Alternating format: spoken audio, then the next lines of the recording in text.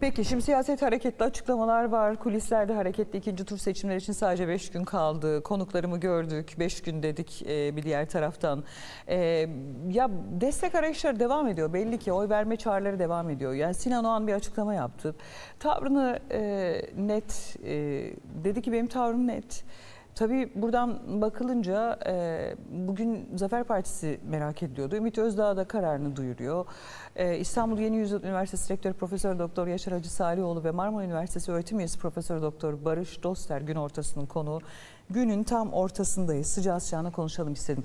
Yaşar Hocam hoş geldiniz e, gün ortasına. Hoş bulduk. E, Barış Bey hoş geldiniz gün ortasına. Siz de Çok nasılsınız? teşekkürler. İyi İyisiniz? günler, iyi yayınlar. Ee, şöyle yapalım mı sıcağı sıcağına? Öncelikli olarak Ümit Özdağ'ın e, açıklamalarını bir e, okuyun isterseniz. Açıklamanın e, kodunu okuyun. Barış Hocam sizinle başlamak isterim. E, bugün hareketli olacak, yarın da hareketli olacak. E, ciddi bir ayrılık da var Ümit Özdağ ile Sinan Oğan arasında belli. Yani o ittifak denkleminde bakıldığında. E, ne dersiniz? Kere Sinan Oğan'ın zaten Nasıl dünkü açıklamasından hemen sonra Zafer Partisi Genel Başkanı Sayın Ümit Özdağ aralarındaki ayrılığın net bir şekilde altını çizdi. Tabii. Ardı ardına açıklamalarla, sosyal Tabii, tabii, medya tabii. paylaşımlarıyla Sinan Oğan'ın karardır kendisini bağlar dedi. Belli ki dün bir kopuş gerçekleşti. Bugün önce saat 11 sonra 13 olarak açıklanan iki toplantı vardı.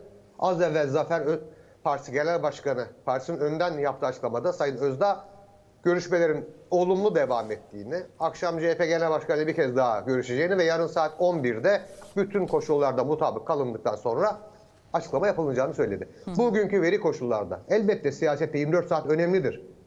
Ama bugünkü mevcut koşullarda baktığımızda kuvvetle muhtemel diyebiliriz ki gene bir ihtiyat payı bırakalım ama kuvvetle muhtemel diyebiliriz ki Zafer Partisi Millet İttifakı'nın adayı Sayın Kılıçdaroğlu destekleyecek. Bugünkü tablo bu. Tabii. Çünkü belli. Yani orada tavrı belli.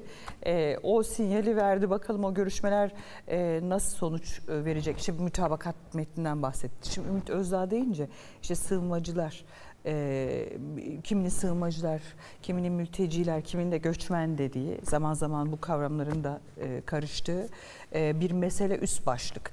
E, terörle mücadele keza aynı şekilde. E, bakalım orada nasıl şekillenecek ama Yaşar Hocama şunu sormak isterim. Şimdi seçimin e, ikinci turuna Sinan Oğan'ın aldığı %5 oyla Ata İttifakı'nın %2.2 oy damgası vurdu. E, ve çok ciddi bir aktör oldular. Yani 15 Mayıs'tan beri bunu konuşuyoruz. Ee, o geceden beri. Ee, ve tartışıyoruz elbette. E, ve soru şu yani çok e, klasik yani yüzde beş bir oy var. O oy blok olarak bir tarafa yönlendirilebilir mi? Gider mi? E, bir adres gösterdiklerinde seçmen ne kadar gönüldaş ya da paydaş e, bir çağrıyla seçmeni transfer edebilir mi oraya? E, ben kendi adıma e, hem biraz e, nabız tutan bir gazeteci olarak hem e, yani sokağın halini ahvalini böyle kendime der- dert edinmiş biri olarak bakıyorum çok kolay gözükmüyor aslında. Yani gerçekten seçimin kaderini değiştirebilecek bir potansiyel oran var ama e, orada da bir ayrışma var. Ne dersiniz Yaşar Hocam? Evet ayrışma var. Ee, kaldı ki yüzde beş üzerinden arkadaşlar sesim kulağımdan alınabilirse E, ses yankılanmasın arkadaşlar rica edelim. Hemen reji yüz- yüzde yüz, evet yani yüzde beşin e, işte ne kadarı e, yönlendirilebilir oydur, ne kadarı bunun Tabii. aslında iki adaya da vermeyip aslında kendi öznel tepkileriyle bir üçüncü seçenek arayışında olarak vermiştir. E, ne kadarı tamamen e, Özdağ'ın kurduğu partinin e, tabanıdır. Bütün bunlar e, aslında hep e, bir süredir seçimden sonra e, odaklandığımız konulardan biriydi. E, Burada tabii yine hipotetik olarak sonuçta Ata e, Partisi'nin ana bileşeni Ümit Özdağ Partisi. E, Onun da aldığı bir aritmatik var, bir oy oranı var %2.2. Tabii. Ee, yine yine hipotetik olarak e, e, genel başkan ve teşkilatlanmış seçime girmiş bir parti olarak o yüzde 2.2'yi e, daha fazla koruyabileceği, genel başkan olarak yönlendirebileceği gibi bir e, yaklaşım e, beklenebilir. E, burada geriye kalan o yüzde üçlü kısmı tasnif edecek olursak orada da Sinan Ogan'ın Evet. e, bunun e, yani yine büyük ölçüde Sinan Ogan'dan dolayı verilmiş oylardır. Bunun içinde mutlaka Muharrem İnce'nin e, tepki oyları yani ona yapılan o çirkin saldırılar sonrası her iki adaya vermeyip Sayın e, Kılıçdaroğlu'na ve Sayın Erdoğan'a e, burada da bir üçüncü e, seçenek e, ve bir anlamda tepkilerini ortaya koyabilmek için yöneldiği bir aday olarak da görmek gerekir. Tabii bütün bunlar e, şunu da keskin olarak saptamıyor. Yani Muharrem e, İnce'nin e, o tepki oylarının ya da adaylığını sürdürseydi daha büyük ölçüde ona yönelme eğilimi gösterecek e, seçmenin e, bu son tabloda Muharrem İnce'nin çekilmesinden sonra bunların da tamamı e, Sinan Ogan'ın hanesine yazıldı da diyeme, diyemeyiz. Onların bence bir bölümü yine Cumhurbaşkanı Erdoğan'a, bence çok azı e, e, yani yine bir siyasi okuma yapıyoruz elimizde veri yok. E, Kemal Bey'e gitme, gitmiş olası gidebilmiş denilebilir ama sonuç itibariyle geldiğimiz noktaya baktığımızda burada en azından o yüzde beşin hadi onu o yüzde beş yuvarlak yuvarlayın altı deyin ona. Yüzde yirmi yirmi bölüşülür iki aday arasında hep diyorduk. En azından ben öyle bakıyordum ve onun için de de asıl bütün bunu söylememin sebebi şu e, bir bölümü de ki buna yüzde yirmi diyebiliriz yine bir genel çerçevede bir siyasi okuma yapacak olursak sandığa gitmeme eğilimi gösterir. Yani bu e, yüzde beş küsürlük oranın e, bir bir bölümü de e, siz nereyi işaret ederseniz edin iki aday için yani iki aktör için söylüyorum hemen Ümit Özdağ hem Sinan Okan için. stüdyoda? Evet her ikisi için e, sonuçta siz nereye işaret ed- ediyorsanız edin biz oraya da gitmiyoruz deyip sandıktan da uzak durma eğilimi gösterebilir. E, bunların e, da yine değerlendirilmesi gerekir. Yani orada artık bir blok oy geçişi olmayacak. İşte 2 milyon küsür bir oya tekabül ediyorsa 5.2 e, onun herhangi bir adaya ikiye bölünerek şu kadarı oraya gitti bu kadarı oraya gitti denilemediği gibi e, bu iki e, siyasi aktörün de e, işaret ettiği adaya e, paylaşarak e, bu oyları taşıdığı anlamına da gelmez. Ama sonuç itibariyle siyasi süreç, bu süreçte söylenenler, atılan adımlar, e, iki adayın yani Sayın e, Cumhurbaşkanı Erdoğan'la Sayın Kemal Kılıçdaroğlu'nun e, seçime ilişkin birinci turdaki tutumları, söylemleri, e, politikaları, ortaya koydukları işte mutabakat metinleri, yazılanlar, çizilenler üzerinden seçmen bir 15 gün daha yeniden bir e, kendiyle hemhal kılarak bütün bu Tabii. söylenenleri ve yaşananları e, içine neyi daha fazla sindirebilir, neyi sindiremez. Sonuçta ilk turda tercihini bu iki adaydan yana kullanmamış olsa bile bu ikinci turda ya sandığa gitmemezlik de olmaz.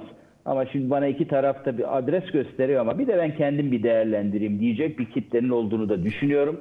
E, o açıdan mesele böyle. Ee, Tabii şimdi bu şeyin özelinde belki konuşacak olursak şimdi iki gündür bugünü bekleniyordu. Sabahtı, e, öğlene çekildi Ümit Özdağ'ın e, Yok ama şöyle bir şey şeyden dolayı Yaşar Hocam açıklama yapıldı Tabii, tabii, ya. tabii. Hayır, Hatay'da şunu ya. söyleyeceğim. Şimdi Sayın Kılıçdaroğlu'nun bir şekilde böyle bir buluşmaları için e, bu Tamam tam da onu söyleyeceğim işte. Evet. Yani sonuç itibariyle bir e, süreç başlatıldığını bugün anlıyoruz artık. İşte bir imzalanmış bir protokol e, metninden söz ediliyor, atıf yapılıyor.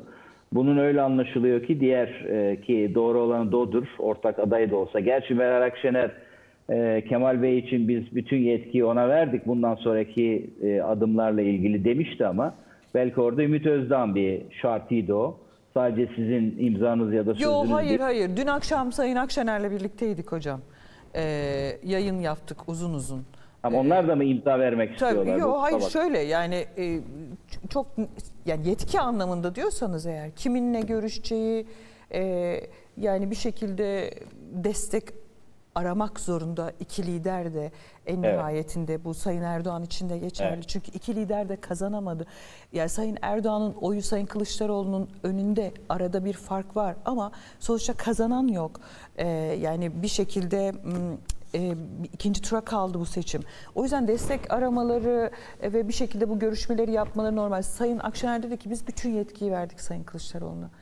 Ee, yani bütün Tamam. yetki dedi. Yani bütün yetki görüşme Tamam, ben de onu noktası- söylüyorum. Tabii.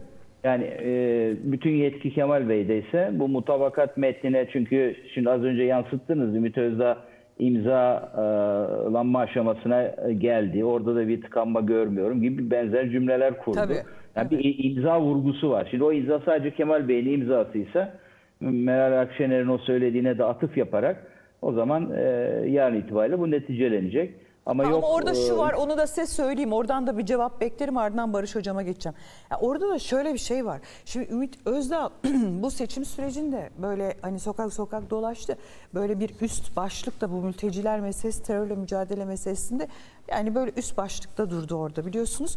Bir de aynı zamanda e, Ümit Özdağ'ın söylemleri oldu işte Sayın Babacan, Sayın Davutoğlu noktasında. Orada bir şey merak ediyorum sadece. E, yani talepleri var. Altılı Masa'da özellikle Deva Partisi ve Gelecek Partisi arasında böyle bir sıkıntı olur mu? Yani Ümit Özdağ noktasına söylüyorum. Bir de Mustafa Yeneroğlu mesela. Dün bakıyorum Bolu Belediye Başkanı ile Suriyelilerin gönderilme konusunda e, bir tartışma yaşadı. E, işte bu bu gönderilme biçimi, gönderilmesi durumu, e, orada nasıl bir yol izleneceği, yol haritası noktasında da böyle bir sıkıntı çıkar mı, çıkmaz mı? İnsan elbette e, merak ediyor. yani Yoksa orada biz tabii- anlaşalım, kervan yolda düzülür, bir şekilde bakarız mı olur? Hani onu da bilemedim. e, şunu bir türlü söyleyemedim. Yani Ümit Özdağ, hayır Sayın Genel Başkan Kemal Bey sizin imzanız e, sadece olmasın. Diğer a, altı bir şeyin e, e, yani altı genel başkanın imzasıyla bu protokol oluşsun gibi bir şartı ya da bir e, isteği var mı? Onu da bir e, netleştirmek gerekir. Yani o, o yönü de önemli. Senin de işaret ettiğin gibi e, Hülya Hanım. O da e, tabii o anayasanın ilk dört maddesi 66. madde orada Babacan öyle bir tartışma açma eğilimine girmişti falan. E, o boyut önemli. Bir de sığınmacı meselesi ona da işaret ediyorsun. Evet. Bayağı bir Bolu Belediye Başkanı ile Mustafa Yeneroğlu e, çok sert birbirleriyle e, böyle ithamlı bir Twitter üzerinden kapışma yaşandı. Tabii ne kadar Cumhuriyet Halk Partisi'nin e, doğrudan genel başkan anlayışını falan temsil ediyor. Bolu Belediye Başkanı ondan uzak tabii. O biraz kişisel bir şeydi. Neyse yani sonuç itibariyle bu mutabakatın ben şimdi biraz içeriğiyle ilgiliyim.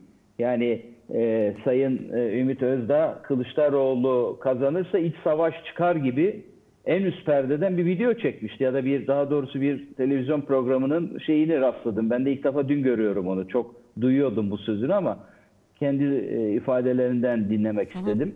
Evet. E, Böyle bir kendince kurgusu var. E, Kazanırsa işte yerel yönetimde işte HDP ağırlığı geri gelir ardından bunların bir takım işte özellik tayinleri vesaire deyince buradan sonra da vardığı sonuç buradan bir iç savaş çıkar.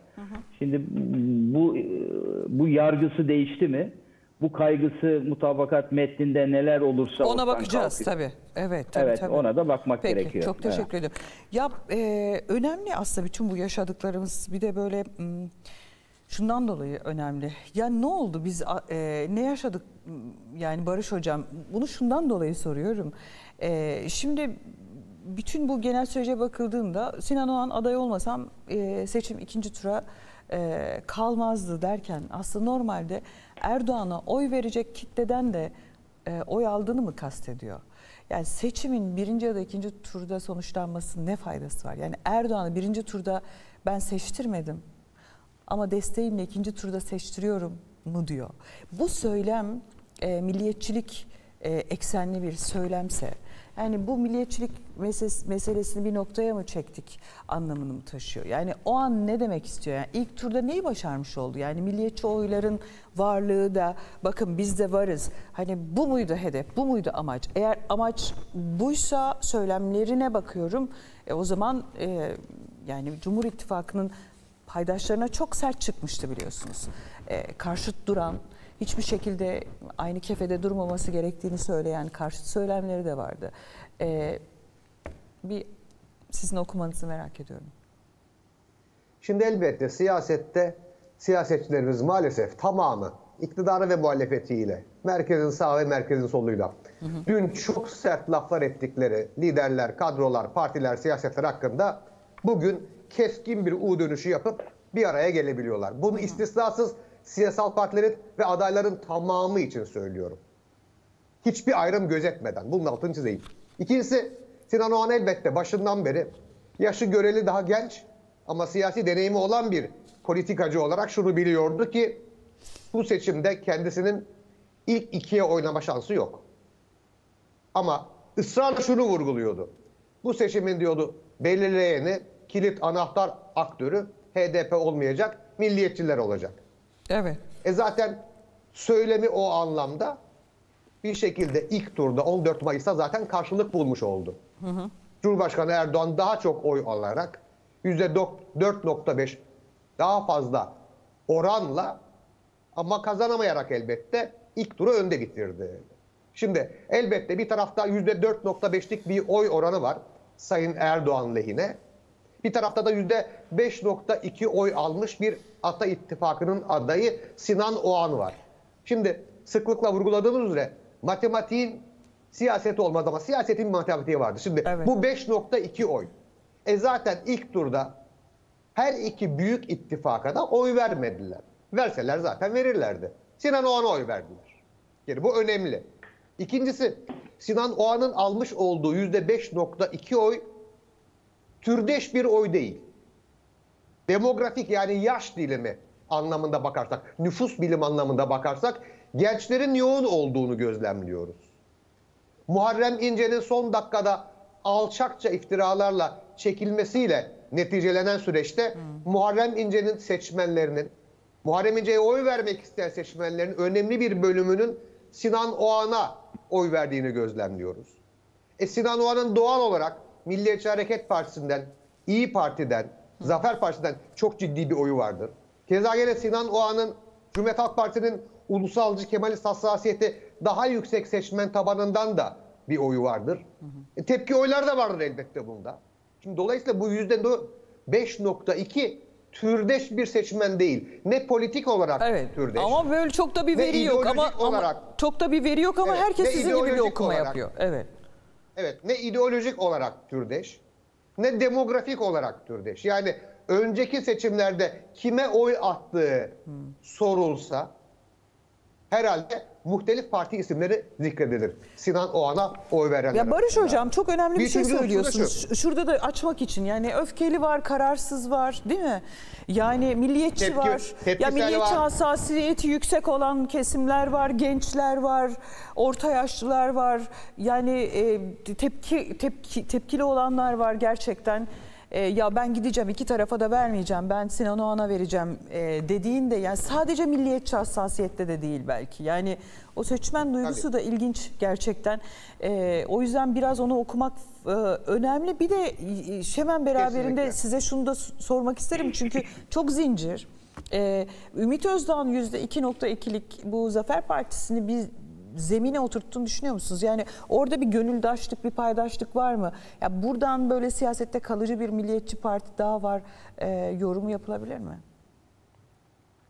Şimdi hemen şu oranlardan başlayalım. Şimdi hiçbir siyasal parti ve hiçbir siyasetçi, genel başkan kitlesini, seçmenlerini, taraftarlarını yüzde yüz o veya bu ittifaka yönlendiremez. Yani Sinan Oğan dün Cumhur İttifakı'na tavır aldı. Arkadaş ben Millet İttifakı'nı destekliyorum deseydi de o 5.2'nin tamamını yönlendiremezdi. Hiçbir siyasal aktörün elinde böylesi bir adeta sihirli değnek yoktur. Bu mümkün değildir. Muhakkak çok büyük ölçekte fire olacaktır.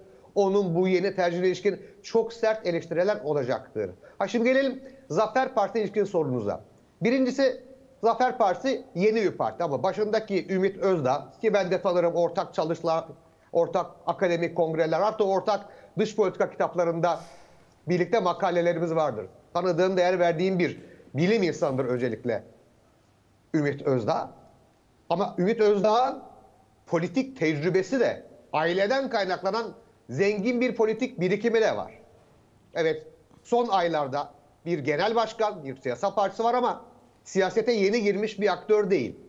O yüzden Zafer Partisi'nin hani Milliyetçi Hareket Partisi ile İyi Parti ile farklılaştıkları noktalar çünkü Sayın Özdağ her ikisinde de bulunmuştu. MHP'de milletvekilliği yaptı. İyi Parti'de kurucular arasında yer aldı ve ondan sonra çok sert söylemlerle, sert ifadelerle İyi Parti'den koptu ve Zafer Partisi'ni kurdu. Şimdi Zafer Partisi'nin o anlamda daha da büyüyüp büyümeyeceğini, milliyetçi sahada nereye konumlanacağını elbette önümüzdeki süreç gösterecek. Şimdi Milliyetçi Hareket Partisi Türkiye'de milliyetçi geleneğin, milliyetçi geleneğin asli sahibidir, asli unsurudur. Evet. Yani hem yaşından dolayı, hem tarihsel birikiminden dolayı, hem ideolojisinden dolayı, hem toplumsal tabanından dolayı bunu defaten kanıtlamıştır. Yani darbelerde kapatılmıştır, uzun yıllar iktidara gelememiştir, seçimlerde baraj altında kaldığı olmuştur, çok sancılı süreçlerde genel başkan değiştirmiştir, parti içinden kopmalar olmuştur. Büyük Birlik Partisi örneğinde olduğu gibi, İyi Parti örneğinde olduğu gibi, geçmişte Sayın Tuğrul Türkeş liderliğinde ATP örneğinde olduğu gibi vesaire vesaire ama MHP deyince akla bir ideolojik, bir politik devamlılık, bir sosyolojik taban, bir seçmen sadakatinin yüksekliği, bir entelektüel, kültürel birikim geçmiş gelir. Yani Ziya Gökalpler gelir, Sadri Maksudi Arsallar gelir, Zeki Velidi Toganlar gelir, Aksuralar gelir, Gaspıralılar gelir. Şimdi bütün bunları alt alta yazdığımızda Milliyetçi Hareket Partisi'nden kopan ya da ona alternatif olarak, ona rakip olarak kurulan partilerin pek de kalıcı olmadığını Türk siyasal hayatı bize gösterdi. Yani o akımın ana akım partisi Milliyetçi Hareket Partisi. Önümüzdeki süreçte şimdi bakalım Zafer Partisi E, ne İyi kadar Parti kalıcı değil mi? Ben İyi Parti'nin bir konjonktür partisi olduğunu düşünenler. Hocam neyin konjöktürü Allah aşkına? Yani 51 e, kaç, kaç tane milletvekili soktu İyi Parti yani iki dönemdir. Ee, çok Şimdi ciddi bir şekilde Hülya Hanım, Millet İttifakı'nın Anavatan Partisi vardı. Tek başına iktidar olmuştu 83'te 87'de. Bünyesinden Cumhurbaşkanı çıkarmıştı. E, tamam. Yani konjonktür partisinden kastettiğim Tamam. bir yıl iki yıl değil. Tamam. Uzun süreleri kastediyorum ben. Şimdi Milliyetçi Hareket Partisi dediğinde biz kaç on yıldan bahsediyoruz. Doğru. CHP dediğinde biz adeta bir yüzyıldan bahsediyoruz. Doğru, Yani konjonktürden kastım iki yıl değil. E Üç yıl zaten değil. öyle bir şey 50 olması yıl, zaten 60 yıl, mümkün 70 değil. yıl. Tabii tabii mümkün Yani değil. o kurumsallaşmak dediğimiz şey Hocam, zor bir şey. Evet ama onu bilemeyiz ki. şimdi- Onu bilemeyiz ki. Yani süreç gösterecek onu. Yani, Yani nasıl ben- kurumsallaştıracaklar, nereye hangi zeminin üstüne oturtu- oturacaklar, e, o, o, o duruş, o tavır, olaylar ve eylemler karşısında alınan tavırdır belirleyici olan. Yani e, bugün Sinan Oğan için de geçerli. Yani söylemlerine bakın. İşte mesela bir taraftan değil mi tavrına bakın. Mesela Sinan Oğan'ın aldığı karar sizi şaşırttı mı? Hiç şaşırtmadı. Hayır, Beni hiç söylemlerine şaşırtmadı. baktığınız zaman da hiç şaşırtmadı mı? Hayır, hiç şaşırtmadı. şaşırtmadı. Çünkü Hayır, hiç diyorsunuz şaşırtmadı. tamam peki. Ee, yani o Yani ben Hülya Hanım izninizle politik ve akademik bir risk alıyorum. Altını çizerek söylüyorum. Hani bir cumhuriyetçi, bir kemalist, bir ulusal solcu olarak, bir bilim insanı olarak Buyurun. akademik ve politik bir risk alıyor ve diyorum ki ülkücü gelenekten gelen kadrolar liderliğinde kurulan ve merkez sağ konumlanmak isteyen seçmenleri hatta bir kısım kurucular arasında merkez sol gelenekten olan siyasetçilerin de olduğu İyi Parti bir konjonktür, bir tepki partisidir. Türk siyasal hayatında öyle 50, 60, 70 yıl, 80 yıl yer alması bugün veri koşullarda benim tahminlerime, benim tahlillerime göre pek mümkün değildir. Umarım ikimiz de uzun yaşarız. Bakarız İyi Parti'nin neticesi ne olur. Ha şimdi gelelim tekrar Zafer Partisi'de olan sorunuza. Şimdi Zafer Partisi çıkış noktasında özellikle terörle mücadele ve bu sığınmacılar, bu Suriyeli geçici koruma statüdeki sığınmacılarla alakalı tepkiselliğiyle çok ciddi bir dikkat çekti. Bu çekilen dikkat eşittir oy anlamına gelmez. Bu sosyal medyada yaratılan heyecan eşittir oy anlamına gelmez. Ama gençler başta olmak üzere kamuoyunun dikkat kesildiği, kulak kabarttığı bir parti oldu. Ama Zafer Partisi o günden bugüne, kurulduğu günden bugüne bizzat Zafer Partisi Genel Başkanı Ümit Özdağ'ın da ifadesiyle bir oy kaybına uğradı. Zaten bunu Ümit Özdağ kendisi de ifade etti. Yani umdukları, bekledikleri, hedefledikleri oyu alamadıklarını Sayın Özdağ'ın kendisi söyledi. Ha ama iki nokta küsürlük bir oy ile girdiği ilk seçimde başlangıç yaptı. evet. Bu iki, bu, bu iki küsürlük oy kalıcı olur mu? Büyür mü? Yoksa sönümlenir, erir gider mi? İşte Ümit Özdağ'ın yarın açıklayacağı karar başta olmak üzere önümüzdeki karar ve kararları bunu etkileyecektir. Evet. Peki çok teşekkür ediyorum. Yaşar Hocam ne diyorsunuz e, Barış Hocam'ın söylediklerine? Hem Ümit Özdağ meselesi de önemli. O da nasıl bir zemine oturur? Yani Zafer Partisi nezdinde onu da insan merak ediyor. e, siyasette kalıcı olur mu olmaz mı? E, bir de mesela pazarlık iddiaları hep reddedildi ama Sinan Oğan da bu desteğin karşılığında nasıl bir motivasyona sahip olacak insan onu da merak ediyor. Muhtemel hükümette bir bakanlık önerisi mi gelebilir? E, yani Sinan Oğan çünkü adaylık için 100 bin imzayı bulmakta biraz zorlandı biz ona şahit olduk. Ama 3 milyona yakında oy aldı bir taraftan. E, bu değerlendirmeleri de isterim sizden. Yani öyle bir pazarlık olmadığını Sayın Cumhurbaşkanı da ifade etti. Kal- Kaldı ki bu Devlet Bey'in o ilkeli birlikteliğine de çok ters bir şey bu. Yani bir bakanlık verilerek bir oy taşıma misyonu üstlenmek falan. Ee, Bunu Sinan Ogan da böyle olmadığını söyledi. Sayın Cumhurbaşkanı da ifade etti. E, Doğru da bulmam açıkçası. Ee, sonuç itibariyle e, burada ya ben şöyle bakıyorum yani ne yaşadığını, niçin yaşadığını ve nasıl yaşadığını e, bilebilenler için gelecek vardır. Bu hepimiz için de tek tek çok açık. Yani bugün Türkiye'nin bir küresel kuşatmayla sıkıştırılma çabası son 12 yılda ivmelenmiştir. Bunun adı emperyalizmdir. Yani bir milliyetçi vurgudur, e, gidip duruyor. Milliyetçi parti, milliyetçi seçmen, milliyetçi yani bir herkes kendisine sorsun bakayım. Ben milliyetçi değil miyim? Yani tersinden okuyun. Milliyetçilik nedir bu topraklarda? Hep altını çizmeye çalışıyorum. Önce ne yaşadığını ve nasıl yaşadığını bilmekle işe başlar. Milliyetçi refleks. Ve ve kurduna kuşuna, dağına taşına, milletine, değerlerine ve her şeyden belki önemlisi bağımsızlığına sımsıkı sarılmaktır. Milliyetçi refleksin bir bünyede yeşerip büyümesi ve kalıcılaşması. Ve bu da anti-emperyalist olmayı gerekli kılar. Bunu başaramayanlar için o milliyetçi refleks sözdedir, maskedir, etikettir. Kim olursa olsun. Kim olursa olsun. Ve bu şekliyle de tarif ve tanımlanmasını da reddediyorum. Yani düşünün Kürt seçmen, milliyetçi seçmen. Niye? Kürt seçmenden milliyetçi seçmen olmuyor mu? Çanakkale e, ruhuyla yoğrulmuş, Türkiye'nin asli unsuru, ta Alparslan ve Selahattin Eyyubi'den beri bu toprakların e, e, içinde, derinliğinde, kültüründe yer, bul, yer bulmuş, Türkiye sevdalısı, emperyalizme her zaman karşı olmaya hazır, yiğit Kürdümden milliyetçi Kürt niye olmuyor? Ha, bu tam bir emperyalist oyundur, onu söyleyeyim. Öz birleştirir, etiketler ayrıştırır. O açıdan öyle e, bu e, siyasi aktörler, bu siyasi oluşumlar sadece bir takım belki geleneklerin, belki e, e, yani yeryüzünde e, yerleşmiş, derinleşmiş, kendi içinde bir pratiği ve tarihi olmuş, dirençleri olmuş, direnişler olmuş ve tarih yazabilmiş düşünce akımlarının taşıyıcısı olur, öznesi olabilir. Onun bizzat üreticisi falan değildirler. Bunu net saptayalım. Yani yeryüzünden e, emperyalizm silinip atılmış mıdır? Hani o Gazi Mustafa Kemal Atatürk'ün büyük ideali başarılmış mıdır? O ne diyordu? Güneş doğudan doğduğunu nasıl görüyorsan bir gerçeklik olarak günün birinde yeryüzünden müstemlekecilik, sömürgecilik ve emperyalizm yok olacak. İşte ancak o zaman gerçek ahenk ve işbirliği çağı başlayacak. Bu idealiz, bu, bu ideale ulaşılmadığı gibi bu ideali kim taşıyor? Yani böyle yakanıza Atatürk rozeti takarak e, e, işinize geldiği zaman gardıroptan çıkartılacak bir giysi gibi kullanılan Atatürkçülükle ya da arkanıza koyduğunuz Mustafa Kemal'in kalpaklı resmiyle falan bu idealin ne taşıyıcısı ne öznesi de oluyorsunuz biliyor musun? Bunun için ben yaptıklarınız, sahadaki eylemleriniz, tutumunuz sonuna kadar bu Türkiye e, sevdası ve tam bağımsızlık konusundaki mücadelenize bakarım. Ve Cumhuriyet Halk Partisi'nin genel başkanının bu süreçteki nasıl sınıfta kaldığını anlatırım. Şimdi vakit yok detaya girmeyeyim. Peki İtirazım son bir bunadır. dakikamız zaten O açıdan, hocam. Yönetmenim o, o de açıdan, uyarıyor. ha, evet. Şimdi mutabakat metninde ne varmış? E, bakacağız. Yani Kılıçdaroğlu kazanırsa iç savaş çıkar diyen Ümit Özdağ hangi konular, konularda ikna olmuş onu göreceğiz. Bir muhalif gazetecinin bir şeyi düştü önüme. Hocam bir şey söyleyeceğim. Ee, Sinan Oğan da aynı şeyi söyledi Cumhur İttifakı için.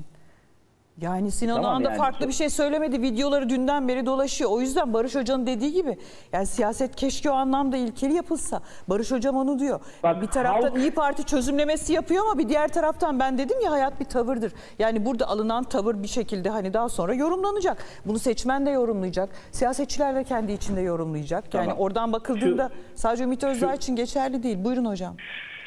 Şu, çok açık. Buyurun hocam. Bugün Ümit Özdağ başlığı altında konuşuyoruz. KC'nizde Öz, e, Özdağ'ın mutabakat metninde ne var ve e, yollar ayrıştı mı? Sorunuz buydu, onun yüzden girdik. Tabii buyurun. Bana Sinan Ogan'ı ayrıca sorun, onu da anlatırız. Dün anlattık, dün de onu konuşuyorduk. E, şu çok açık. Sinan Ogan içinde, Ümit Özdağ içinde. Sonuçta bu halkın iradesine, ferasetine ve oylarıyla ortaya koyduğu siyasi saptamaya herkes çok iyi dikkat ederek analiz etmeli ve Tabii. kendisini ona göre gözden geçirmeli. Bu çok açık. Ben e, dün Sinan Ogan'ın tercihinin bu milletin aslında önüne koyduğu ve dört elle sarıldığı çizgiyle çelişemeyeceğini gördüğü içindir. Ve ona oy veren seçmenlerin kuşkusuz tamamını gezememiştir ama önemli bölümüyle de bir nabız tutarak bunun doğru olduğu kanaatine vardığı içindir. Çok açık söylüyorum. O açıdan ben umut ediyor ve diliyordum ki sonuçta bu bir hizmet e, yarışı olsun bu seçimler. Emperyalizme hiçbir şekilde pozisyon almasına izin verilmesin ve onların bütün uzantılarını FETÖ'yü, PKK'yı sevindiren bir seçim atmosferi olmasın. Herkes bir düşünsün. Buna kim zemin har- e, e, e, sebep oldu? Zemin hazırladı. Bütün bunlar son derece önemli. Onu saptamak isterim. E, sen konjöktör partisine itiraz ettin ama bakın siyasi partiler şöyle bir şeydir teşkilatları olur, seçimlere girerler, bayağı adamlar falan isimler görürsünüz. Partileştiği anlamına gelmez bu. Partilerin en önemli sınavları seçimlere girme becerileridir. Oradan Evet. alabildikleri olgunlaşma düzeyleridir. Partileri, partileşme süreçleri zahmetlidir, zaman alır. Fikirlerin sentezleyebilme, derinleştirebilme, zenginleştirebilme ve süreklileştirme becerisine bağlıdır. İyi Parti henüz partileşme sürecini tamamlamamıştır. Yan yana duruşlardan olan, nitekim kopmalarla da bir anlamda hasarlar geçiren bir yapıdır. Zaman gösterecek bunu. Aynen öyle. Onun dışında da Evet. Cumhuriyet Halk Partisi'nin içinde iki tane parti var ki niye kurulduklarını hala anlamış e, değilim. Ben ben biliyorum ama yani seçmen seçmen anlayabildi mi bilmiyorum. Yani niye kurdunuz o partileri? Cumhuriyet Halk Partisi'nden oy alalım da milletvekili seçilelim diye mi kurdunuz? Niye giremediniz seçime? Yeniden Refah Partisi o cesareti gösterdi. Niye girmediniz? Şimdi bir de dün bir beyanatını duyuyorum Babacan'ın. Cumhuriyet Halk Partisi'nin bu kadar milletvekili olmayacaktı. Bizim katkımızla oldu. Neredeyse Cumhuriyet Halk Partisi e, bizim sayemizde ayakta duruyor. E, do- Ya, buraya doğru gidiyor analiz. Biz de biz de biz bunlar- de biz de çalıştık demeye getiriyor babacan. bütün yani bunlar biz de işte çalıştık, ben, ben, biz ben de şunu mesai söylüyordum harcadık Hülya. diyor. Bak şunu Evet. söylüyordum se- seçimden hemen sonra. Ee, deselerdi ki bu dört parti. Biri desek ya bizim katkımız en az yüzde beştir. Bizim saha ölçümlerimiz böyle. Öbürü desek ya bizim de en az beştir. Öbürü desek ya benimki yediye falan çıktığını söylerim. Öbürü benim de ondan aşağı değildir. Toplayın bütün hepsini. CHP'nin oyu nerede? Buna kim itiraz edebilir CHP'den? CHP'den? Hayır kardeşim. Yani gördünüz mü? O açıdan Peki. e, bu bir e, süreç. Bu seçimlerden sonra çok önemli e, siyasette e, kaymalar, değişimler, Bakalım. kapa- kapanışlar, açılışlar göreceğiz. Peki Profesör Doktor Yaşar Hacı Salioğlu ve Barış Doster'in e, hem fikir olduğu konu İyi Parti meselesiydi. İşte konjonktür noktasında e, Barış Hocam da dedi ki ben bir akademisyen olarak bir risk alıyorum. E, bir ulusalcı olarak bir risk Bir alıyorum. Kemalist bir cumhuriyetçi Bir olarak Kemalist değil. olarak. Akademik ve politik bir risk alarak. Tamam politik bir risk alıyorum dediniz. Siz dediniz ki konjonktürdür. Yani tabii e, ANAP da öyleydi. Tamam Doğru yolda örnek öyleydi. verdiniz. İki yıllık, üç yıllık de değil ama öyleydi. bir konjöktür dediniz. Yani e, zeminde konjöktürde işte ortada zaten. Yani bazı konjöktürler bazı partileri doğurur ama bazı partiler e, kurumsallaşabilirler. Yani düzgün bir zemine oturabilirler. Merkezde durabilirler ve kalıcı olabilirler. Bunlardan da biri olabilir İyi Parti. E, zaman gösterecek, e, kapsayıcı bir bağlamada oturabilir e, diye düşünüyorum. İlerleyen dönem için elbette. Hepimiz göreceğiz, hepimiz yaşıyoruz, birlikte yaşıyoruz. Elbette. Ama ben Profesör Doktor Sayın Yaşar Hacı Salihoğlu'na e, ve Profesör Doktor Sayın Barış Doster'e çok teşekkür ediyorum. Yaşar Hocam tebessüm ediyor. Böyle güzel kapatalım. Tamam. Görüşmek üzere. güzel Sağ olun. diliyorum. hocama da. Peki.